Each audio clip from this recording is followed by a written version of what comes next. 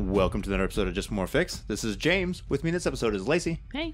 You can find us online at justmorefix.com or on Twitter at justmorefix. If you like us, you can support us at Patreon and you can give us a rating and review at iTunes or wherever you find us at. In this episode, we're going to talk about putting the characters in the deep end. And now it's time to get our gaming fix.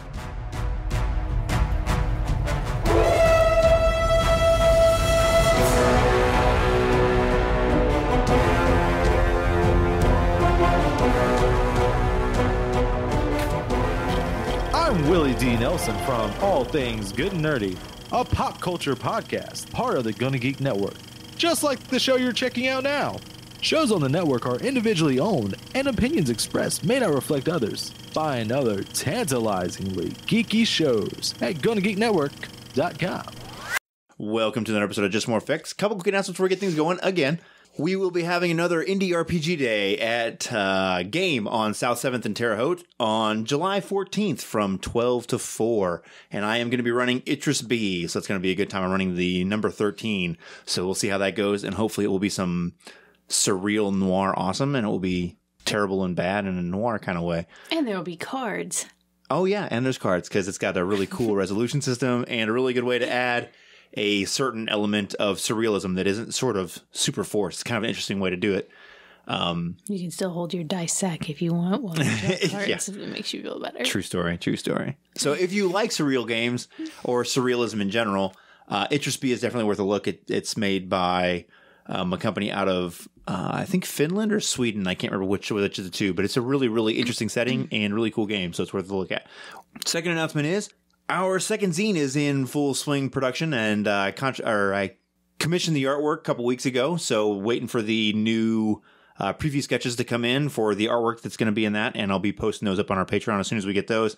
And should be having a couple more playtests of it, and it's looking pretty good. We had a good time uh, with our first playtest, and it turned out pretty good. So if you are interested in some more sort of OSR DIY D&D terribleness to drop on your players, uh, you can support us at Patreon and get access to um, our newest zine coming out called Hastings Party, which is just another terrible thing to drop on your players with winter spirits and some awful like Mardi Gras cannibal terribleness because I'm a terrible human being. So, but it's been a lot of fun, and uh, hopefully you guys check it out. And you can find that at uh, just more or patreon.com slash just more fix. In addition to that, we have an itch.io store now, like so many other small publishers do. So you can go to justmorefix.itch.io and check things out there. And as it stands right now, it looks like we're going to release our zines there probably like um, three months after they've been on our Patreon, and all of our patrons have had a chance to sort of uh, get them out and enjoy them and check them out. So big thanks to everyone that supports us there uh, at Patreon for helping us pay for the artwork and make this whole thing an actual thing because it's been really fun and kind of terrifying, but mostly awesome to be able to do them. So, all right. So today we're going to talk about. Uh, I don't know. I kind of titled this one "Putting the Characters in the Deep End," but it's something that I like to do in most of my games. Um, and this applies to both D and D and Vampire, and basically most of the games that I run. And just to set this up, what I'm talking about is sort of like when you teach someone to swim and you just throw them in the deep end of the pool and see how it goes, right? Mm-hmm. We have a hot springs game, right? And you guys are all first, you may have heard about it. yeah, first level characters. And hot springs is terribly deadly, and there's loads of stuff that can kill you, and there's loads of stuff that's poisonous. of all, let me stop you there. It's awesomely deadly. yeah, it is. It's not terrible. Well, no, yeah, then that terrible and that like that good kind of terrible. It's yeah, awesomely, awe-inspiringly deadly. All it's, right. it's the perfect word. fair enough. Awesome. So, and I do that same thing with when I run vampire games. So I build a city, and obviously, if you're playing an World of Darkness game, you're never the biggest fish because that's kind of the premise of the entire game. And then it's sort of like see what you can do and what trouble you can kind of get into, and enemies you can make, and frenemies and allies and whatever, and see what happens. So Night Witches is a perfect example of this because this is definitely the deep end of the pool, right? Eh. like the high end of the sky maybe might be a better it's a terrible analogy but like you know it is things are definitely not on your side you're definitely overwhelmed the odds are against you all that kind of stuff right so so you play in all of these games and have you noticed the trend between each of them in terms of being like against? I enjoy them all. Done. Nailed it. so but like do you notice the trend? Feeling like the least helpful human alive today. Have you noticed the trend of how they're all kind of broadly speaking structured the same way in that you're you're all largely over like against the odds? I'm always the hero of my own story, and so I always feel like there's the possibility that I'm going to f- defeat the odds. well, I feel like that's the sort of the premise of why we're playing the games, right? right? Yeah. Let's set Night Witches and like World of Darkness aside, right? Because those are there's not really a way to balance a vampire game, right? Because there, it, it works on so many different levels. You know what I'm saying, right? But it, but the Hot Springs game is more of a D and D style game, right? And that game in that game i've intentionally made it sort of like unbalanced against you and so part of that was to put you guys into a situation where you had to weigh your options and like puzzle things out so you couldn't just sort of charge right in and you know go death murder and mayhem right away does that make sense yeah that's why i like harder challenges because you're forced to come at them intelligently Like some, it's nice to have smaller ones too, because sometimes you just like to like go in and chop things up. Right, right, right. But sometimes, you know, you want to like go in there with precision and a plan and a little bit of cleverness. I guess kind of what I'm the the main hurdle for doing this I feel like is always letting the players know that the odds are definitely against them, right? But not doing it in such a way to where they feel like they're paralyzed and can't do anything. Does that make sense? I think it would be hard to, to make it so severe that they'd feel like they're paralyzed and they couldn't do anything. I think that arises just out of not having enough details because like the games I run, it's a foregone conclusion usually what's going to happen. And it doesn't take the fun away from it. I can tell you at the beginning, like nobody is getting out of this alive. In ca- like in a dread situation. Yeah. Or in Bluebeard's Bride, like mm-hmm. really there are no happy endings in this game. Right. Something terrible is going to befall you. we know this already. Let's find out what happens. right on. Well, you mentioned maybe it's that they don't have the players may not have enough details. So, do you feel like that's incumbent on the game master to sort of poke at them to or not poke at them to prod them to question things and try and investigate and get more information or is that on the GM to sort of like do that through exposition or show them through different smaller encounters or whatever both I, I just I find befuddlement to be incredibly frustrating in a game. It's the only thing I don't enjoy in a game, mm-hmm. uh, and so yeah, I don't know. If your players don't know what to do, then you need to present them with something appealing to do, or drop them a clue about what they're supposed to be doing maybe not everybody's like that. I guess some people like sandbox games and they're just like, you didn't give me anything to do, so I'm going to go over here and play with this thing. But that's not me. Like, I need an assignment. If I'm not sure what I'm supposed to be doing, I get angry. well, I think in the cases of hot, in the case of Hot Springs, that that game, at least in, at our table, has been very sandbox like, but it's a very small sand because you're stuck on this island, right? And it's not a mm-hmm. very big one. And every hex is just crammed full of stuff and encounters and things to investigate and do, right? So even if I didn't give you things to do, I feel like automatically you're going to stumble into something no matter what. Right. So I guess what I'm trying to figure out here is in in the sticking with the hot springs uh, as a as a case, right?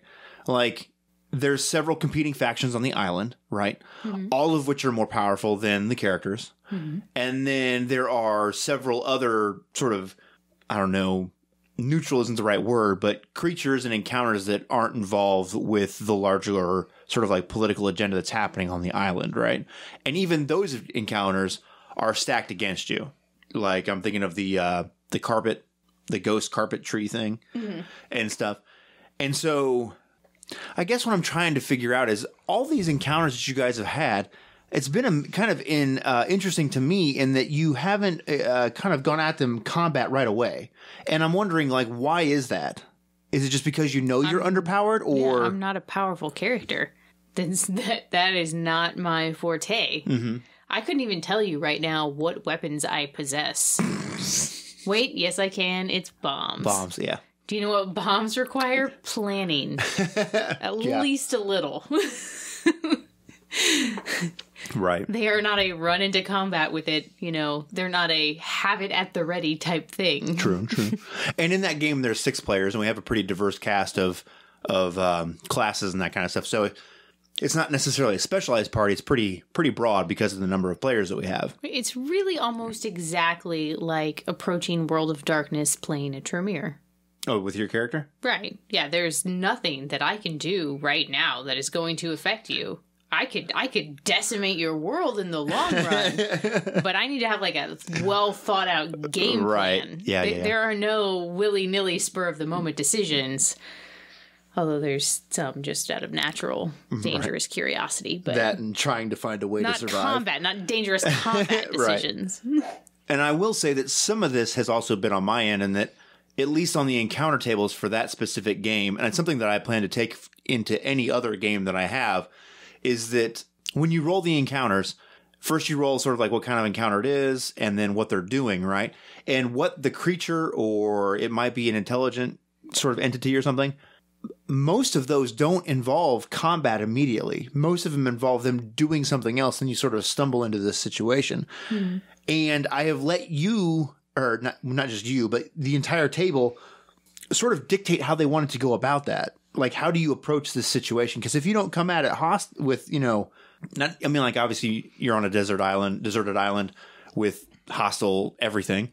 So having your weapons out isn't necessarily automatically a problem, but there's a certain amount of like caution that you approach these encounters with and not going right to attacking them and trying to kill them.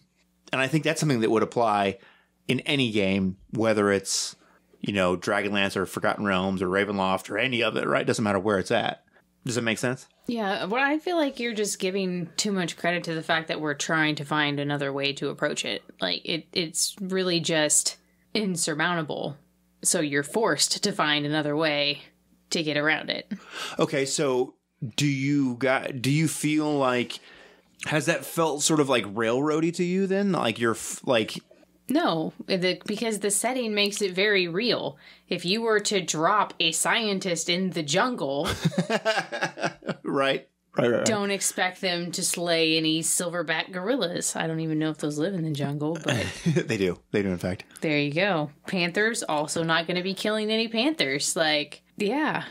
I mean, I don't disagree. and a lot of these creatures are not something that like it's not railroading to think that I am not going to be able to kill a dragon in Dungeons and Dragons. Right. Like I guess we're at when uh in fact, I would say it would be railroading to let your players kill a dragon. Because think about all the fantasy literature you've ever read, Right. all the movies you've ever watched.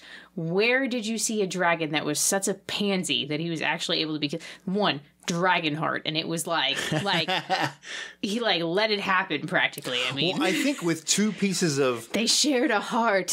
two pieces of media that have come out recently, it's really shown what dragons are capable of. So like Smaug, right? In Right. whichever version of a Hobbit that was, whichever was it the third one that came out? Whatever it is. it was definitely in The Hobbit and not The Lord of the Rings. No, I know, yeah, but whichever Hobbit movie it was, I think it was the Desolation, Desolation of of Smaug. Smaug. That would make sense. Yeah. Uh, uh, mm, big brain. Anyway, but when he comes soaring through there and you see how big he is and he's like laying down the fire and all the destruction, you realize how much of a, you know, incredibly dangerous and powerful this dragon is. And then in Game of Thrones, I feel like they were a little willy nilly with the destruction. Like, I'll give him the first one by surprise. The second one was nonsense. Like, what do you mean, the second dragon dying. oh yeah, Like yeah. the first one, you're like, okay, so you just created this um, ballista that we'd never seen before. Oh, so yeah, I'll give it to you. We didn't see that coming. Didn't know that was a thing. You got us on cleverness on that one, Right. right? The second time, though, that was just. Well, I'm downright- also just like you're talking in about- ships that are flammable. Also, the reload time on those way, way Yeah. bogus. Like that whole scene was nonsense. Well, I'm I'm more talking about though the destruction of King's Landing and everything that happens because of that. I guess spoiler alert. I don't know, whatever. Uh, it's been out for a month now, something like that. Anyway, but you really see the destructive power of a dragon, right? Especially Like to sort of face napalm. yeah, exactly to to common people and not like hardened, grizzled veteran soldiers or whatever, you know. And even them, though they're getting burned alive and and smoked, you know. So I see what you're saying, but I think that part of the like D and D ethos is that we go find dungeons and we go attack dragons in holes where they're not as combat effective because, well, trying to fight the Air Force with a bow and arrow is not good. you know, he, Breath weapon. no, I don't disagree. I don't disagree. But if you consider that breath weapon They're also supposed to be highly intelligent. Yeah, yeah, I agree. I agree. I, I this is something I've a problem that I've always had with D and D is that there is lots of dungeons and not many dragons that you encounter, which I think is good in some ways because I feel like this should be kind of rare. But it's like okay, so we're second level characters in this dungeon, and we encounter like this wyrmling that we're gonna kill because you know, and it's, it'll be dangerous and whatever, but we'll probably survive.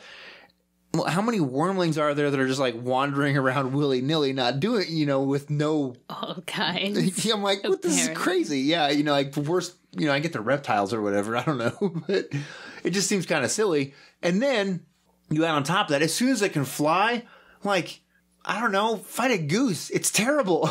you know, it can fly. You know, and it doesn't even have a breath weapon. You have to fly. Like, I am small and fleshy. And am I a warrior? No, by no means. But if you put me next to something even way less scary than a dragon, let's call it a Komodo dragon. Still gonna lose. right? Yeah. so I, I don't know. It's just I don't. I really wonder if it's sort of like the mechanics of it because we're using like uh, something very similar to like BX or LOTFP when we play that game. And it changes things a lot because while you guys are fourth level, you're still not heavy hitters by any stretch of the means. So encounters are still very, very dangerous and deadly. And in a more traditional D and D game, at fourth level, you're starting to sort of hit your stride for when you can start to. You're not like a powerhouse, but you're definitely not Easily killable. exactly. So I guess I, I don't know. It's what I was trying to figure out because I know a lot of people that play D and D. That's what they want, right? And if that's the case, if that's what your table wants, then maybe this isn't the right approach. Well, it's like the expectation, especially even more so recently, that you're going to sit down and play D and D, and this is going to be your character for the next five years of your actual life. you're going to play it till epicdom. I just, and, and that seems boring to me. Like I, I enjoy having characters that go for a long time. Generally speaking, though, it's not D and D characters. D and D characters don't compel me. Maybe any character compels me enough to play it for more than like may I think I feel like three years is probably my max. I don't know. Like I'm enjoying Night Witches right now, but if it went on for a whole nother year, I'd be like, okay, am I am I dying yet? Right. Am I well, that's a setting thing. That's a little surely different. sometime soon? But, But, know- for any game, any game at all, LARP, any other vampire game, no, I'm just tired of this character. Really? Yes. I, I play games so I can live a thousand different lives. Right. Don't limit me to this one. Hurry up and kill me already, man, so I can.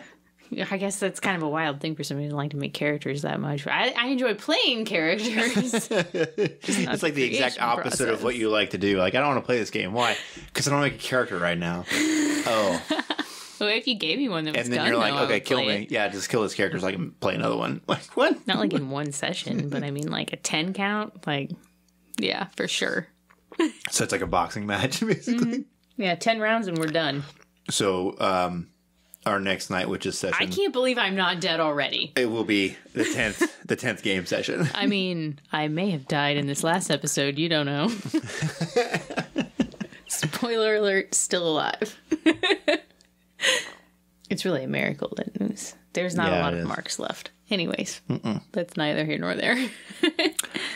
You talk about setting up expectations, right? And I feel like in a World of Darkness or Vampire sense, right? That already is the expectation. When you sit down to that game, you know, even if I make a prince and I'm the prince of whatever it is, Indianapolis or wherever, Chicago, whatever it is, there's still an Archon and there's still a Justicar and there's still a Council of Seven and there's still and, and, and, and, and right? all kinds of Methuselahs. Right. so you're never going to be the biggest fish, right? And generally speaking, you almost never want to go like all in in any situation in Vampire because you've got to have sort of like the ace in the hole no matter what the whether it's a social combat or a mental or a physical situation, right? But that's that's sort of like the expectation you have set up when you come to play Vampire, right? What? I just was thinking, like, what if you combined vampire with like D and D, but it wouldn't be like Dark Ages, right? So just like at any point, an epic level D&D character would just like get bored with your fifth level character and just be like, and I dispatch you now. well, like the and there would be nothing you could do about there it. There was a D twenty World of Darkness by Monte Cook that was like you know, the, I think the the clans were classes. Mm-hmm. So you're like I'm a fourth level Brujah. It was I was not for me. No, I'm just actually picturing D&D characters and at some point like a 25th level fighter would be like, "You're annoying me, 5th level fighter." Oh, And he would just really just kill, kill you, you. and that would be it. like I need a new. It'd be like D&D but with this system on top of it as well. this is a terrible idea. True story. Do you see what I'm what I'm kind of getting at with because World of Darkness really runs and plays a lot differently than D and D. Okay, but what about a different system that isn't either of those two systems? What about Dogs in the Vineyard? What about Mothership? Or Blades in the Dark? Or So I feel like I feel like Mothership relies on a lot of the same style of gaming as like the DIY BX kind of stuff does because it's got a very old school feel to it. So I feel like you go into that one already underpowered, right? And it's it's that kind of that alien feel, right? Where plus you're in space. yeah, if I get shot and sucked out into the vacuum of space, that's it. That's it. Cool. You know, and I I make another uh, marine or whatever, right? So I feel like that one you got to kind of set aside in the same way because it's the same arguments as the DIY, D and D, and BX stuff, right? But Dogs in the Vineyard, I definitely think you do because the premise of that game is it's all about hard moral choices, and you're going to go to a city, and there's going to be sin, and like in terms of the way the game is supposed to be ran, as they uncover more sin, it leads to more problems, which is eventually some kind of either false church or demonic possession, right? And that is sort of the ultimate underdog, right? I'm mm-hmm. just this earthly Well, and also at a certain point in that, you're not fighting a bad guy, you're fighting a bad idea. And Right, how like, do you stop an idea? How do you? it's you like stop an existential threat. Yeah, yeah, yeah. Yeah. Which is Oh, well, More you know, you know, one we've actually left out a bunch. murder. That's how you stop it. True story. The whole time. Although it's not really murder because it's justified. It's, Roland style. It's called execution. the hands did the work. right, exactly. but like we left out like Trail of Cthulhu, right? And there is no greater underdog than than like the math professor from Miskatonic University versus Cthulhu.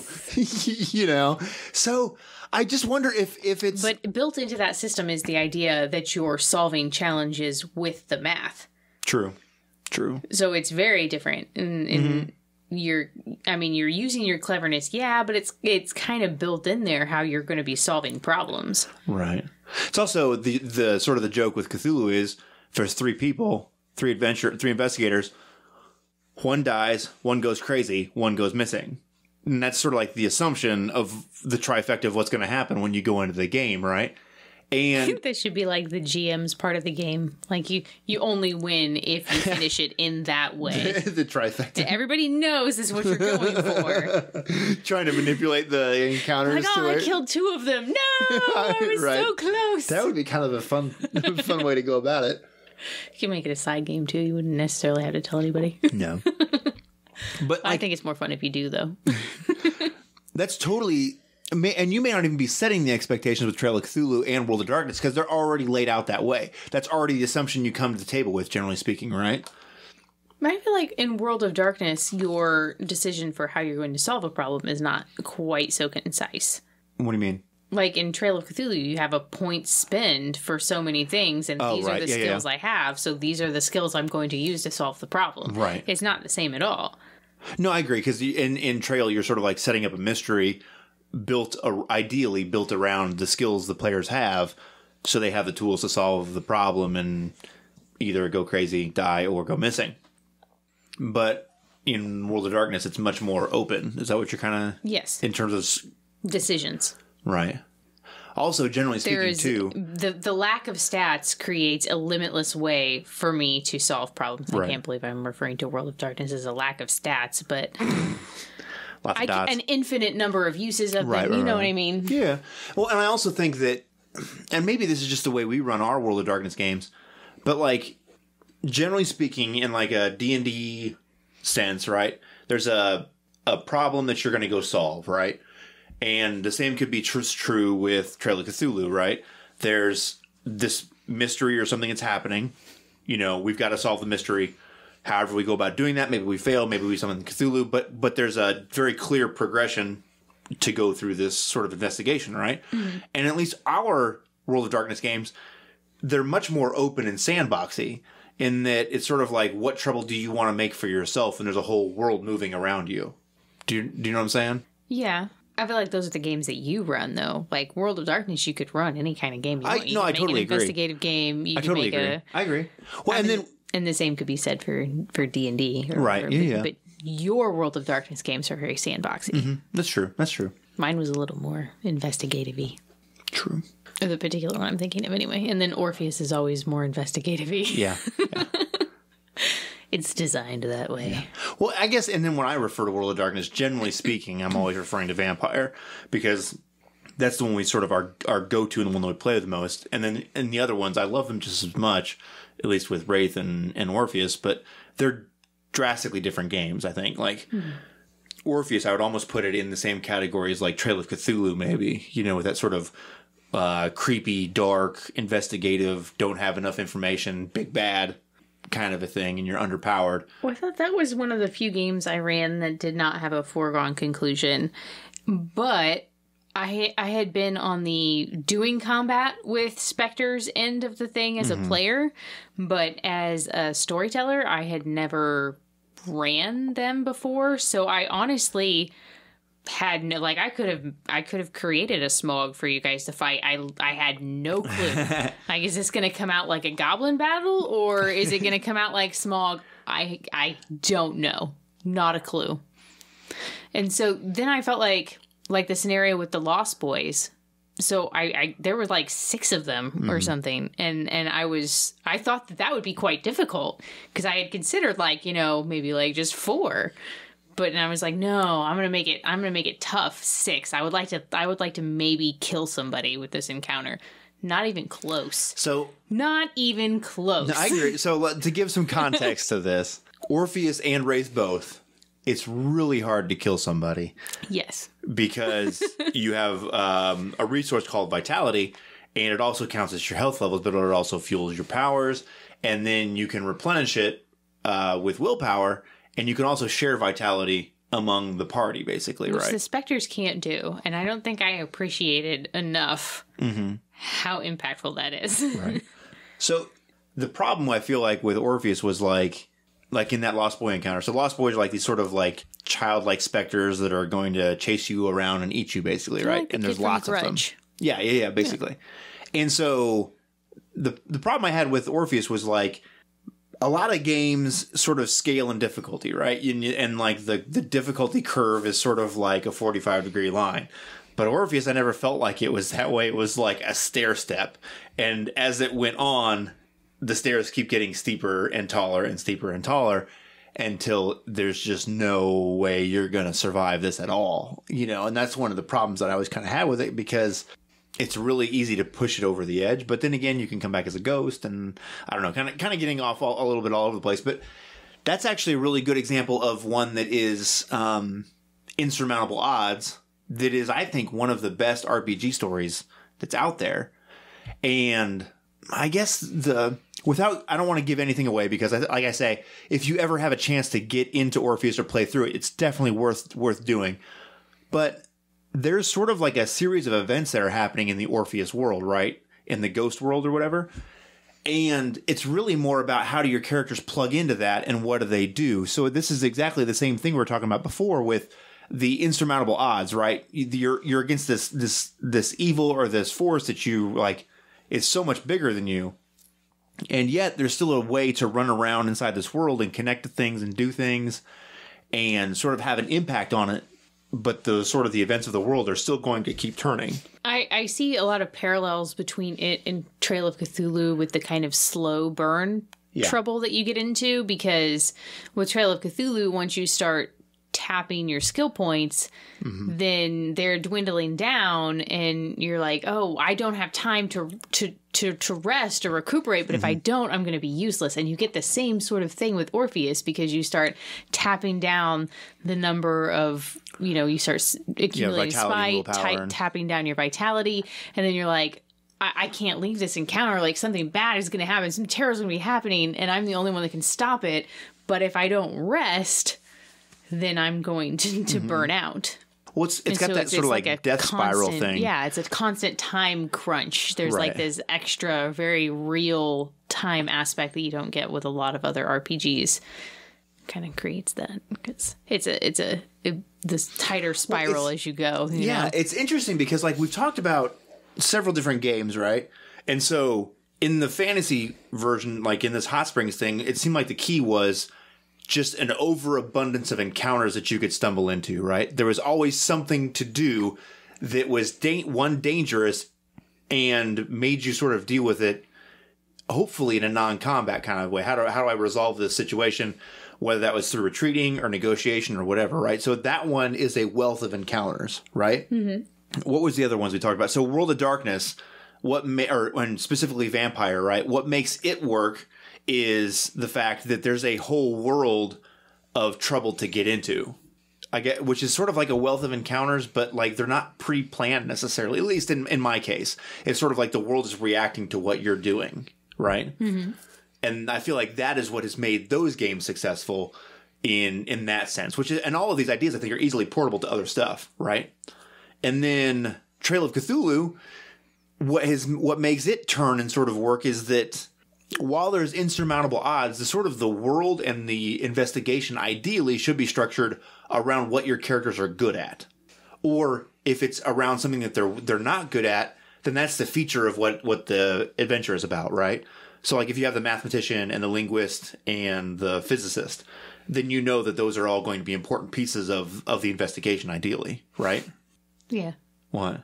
I always picture getting to the end and be like, "Why didn't we choose geologist? Oh god. this is the one puzzle we can't solve without him."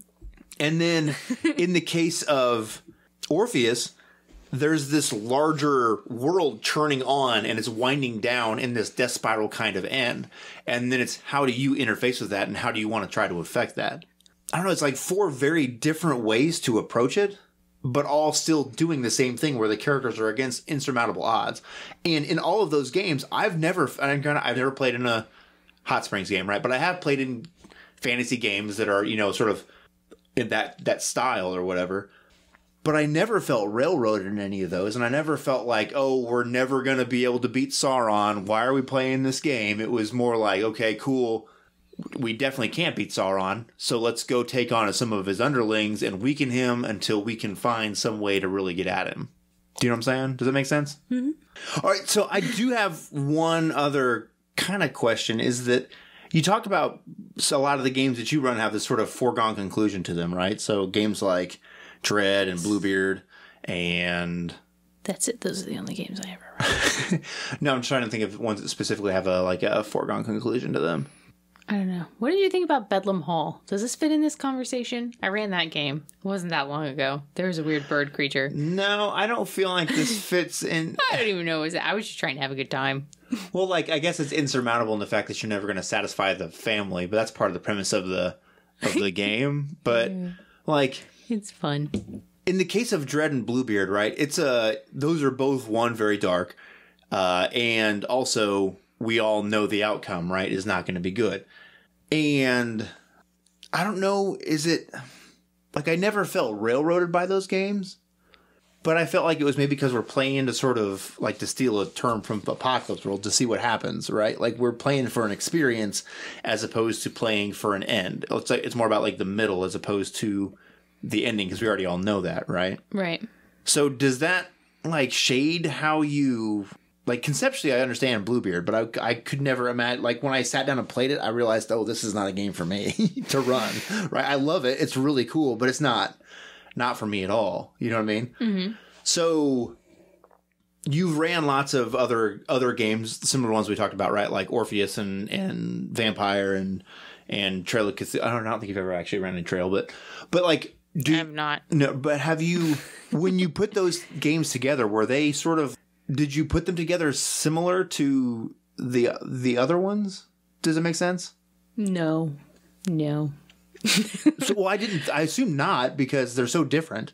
Well, Dread is kind of different because we sort of have the ending in mind and the theme and then a lot of it is like th- things that hit the theme button. Right. So, like for the haunted house one, right? It was just trying to come up with scenes for each character, right? Um, to see what you guys would do, and then making sure I hit the appropriate haunted house horror buttons during right. No, no, I get- during play, and just sort of seeing how it would end. And I read ran that one a couple of different times. The second time I ran it, it was at this shop, and I sort of decided because one player died early on that I would let them live in the house as a ghost, and then it became a little bit more sort of slapstick humor as they Mm-hmm. Right. interacted with the rest of the party, which was fine. Um, it was just a different feel for Is that the one I played in? I think so. Yeah, that was a good time. That was a good Well, I actually think you played in both of them. I played the one. Yeah. And then I did kind of a spur of the moment. Well, it wasn't really. I did some. I guess that's how I run most of my games. Disregard. I did some planning and then made up the rest uh, at the last minute. And that was the one I did for you and Jordan and Isaiah on the sci-fi ship. And so, Oh yeah, yeah, yeah. um, actually, with that one, I was like, well, I've ran Dread a couple of times, and it's kind of fun when I kill you guys, but I wonder if I could design it to where you would kill each other and I wouldn't have to do anything. so then all of my plot points were just sowing seeds of doubt between the people in the mix. You know what? You should put that one together. like I don't know how you would put that one together because it was I could tell it was largely improvised or whatever, you know, because it was Mm-hmm. A lot of the stuff that was happening was dictated by what we were doing. My science terminology would be a lot better if I planned it out instead of spur of the moment. But like like, uh, yes, you find waves of seismic Combustion. corkyology like- activity. I felt like that was probably the strongest Dread game you ran. It was fun. And I don't know if that was because it was more sort of like player versus player or whatever. Because there was like, I think so because well, I, I read that part like in the book where it says combat is a terrible idea because basically eh, eh, it's like two pulls for every action Yeah. instead of one. So then I was like, how can I can how can I coerce you guys well, and it really wasn't kill us each other? fighting each other per se. It Yes, was, it was.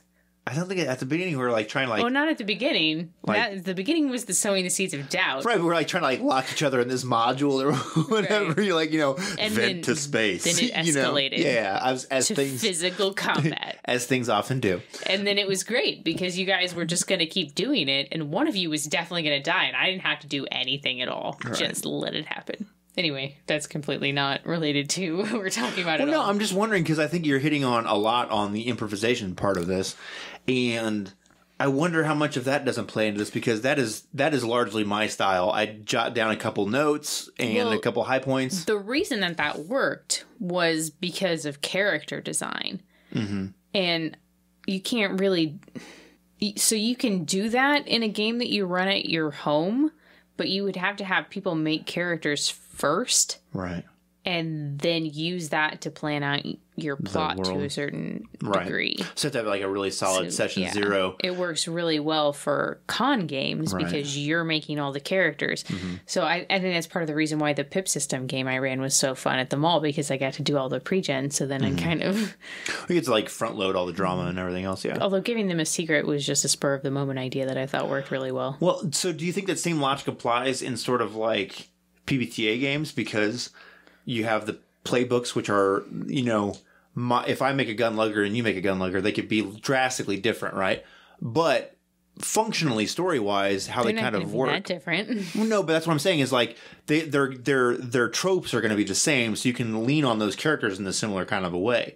So while you're still largely improvising the game, it has these conflicts that are sort of built into it because of the way certain tropes are are put together, right? Mm-hmm. And Bluebeard being a great example of this, you just have the the those five choices of the sort of like versions of the feminine archetype or whatever, right?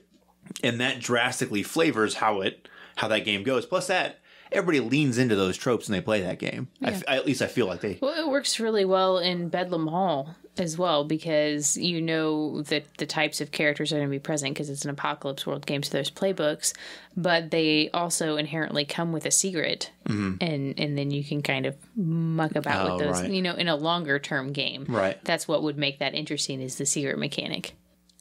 Just makes me wonder because like I'm thinking of Night Witches now, and how that game is nearly entirely improvised. And there have been a few moments where I thought, oh, this would be a really cool thing to have happen. Right. So then it was like improvising the game to steer it towards a scene if I could.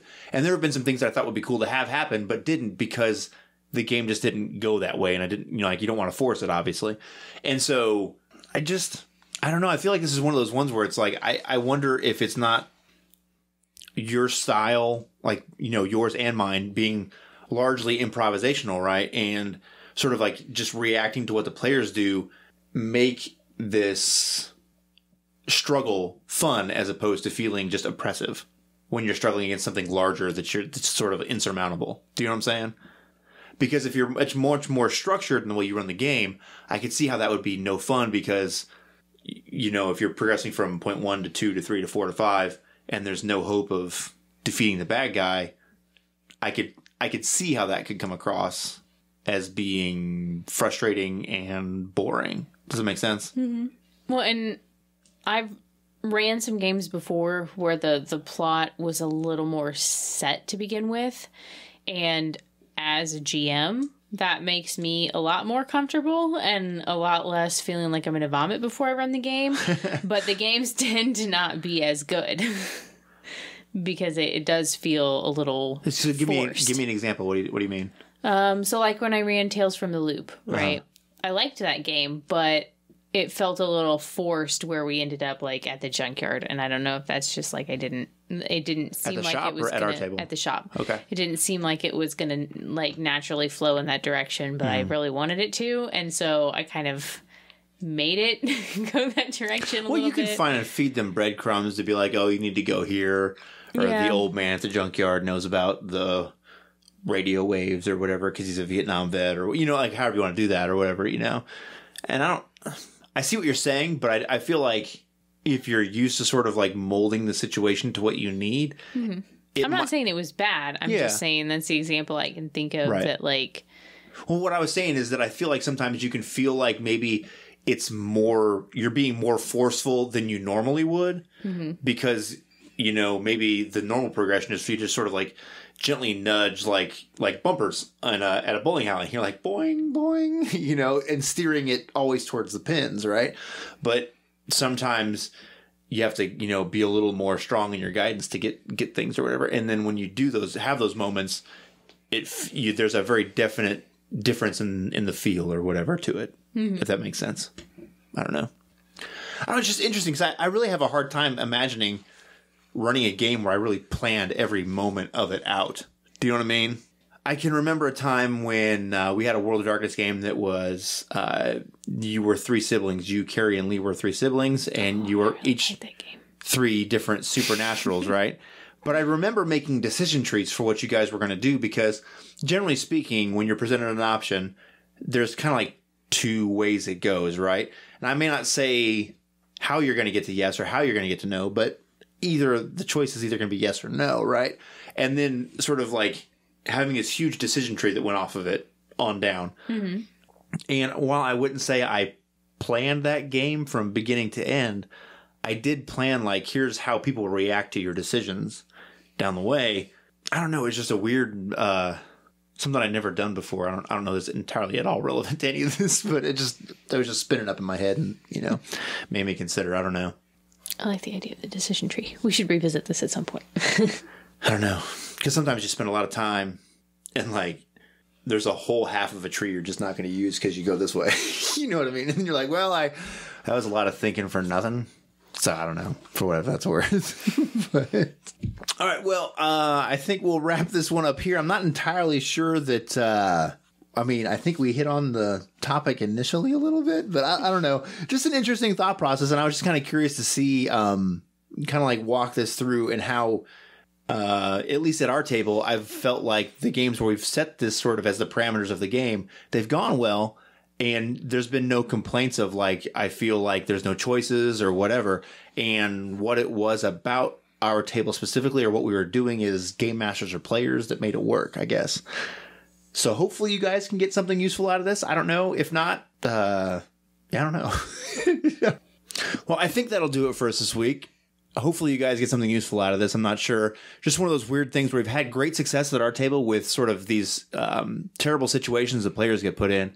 And these sort of insurmountable odds and how that all kind of comes together. We weren't sure if whether that was just our style of running games or the people that we have around our table. But we've had success doing similar games at uh, conventions and and at our indie RPG days. So it was just kind of interesting to sort of talk through it and see how it kind of went. I don't know. I wasn't really sure what we were going to get out of this, but uh, hopefully uh, you guys will find something useful from it, and uh, maybe encourage you to be a little more improvisational in your own uh, in the games that you run at your own table. So, as you guys know, we're a member of the Gonna Geek Network, and there's tons and tons of great shows that you can check out at GonnaGeekNetwork.com, like on the Bubble Podcast, All Things Good and Nerdy, The Legends of Shield, Starling Tribune, Game Life Balance US, and Game Life Balance Australia. There's lots of awesome geeky content that you can find at GonnaGeekNetwork.com. And if you are a podcaster, you can find loads of great advice from technical stuff to uh, equipment reviews and all kinds of stuff on better podcasting.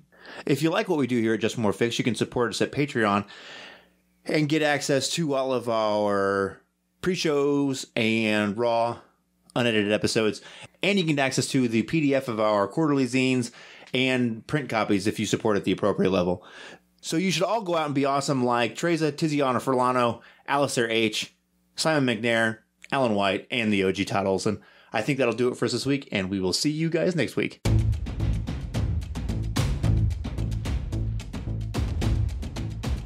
Thanks for listening. This has been an episode of Just One More Fix. Music has been provided by Kevin MacLeod. You can find him at incompetech.com. You can support us at patreon.com slash just one more fix or follow us on Twitter at just one more fix.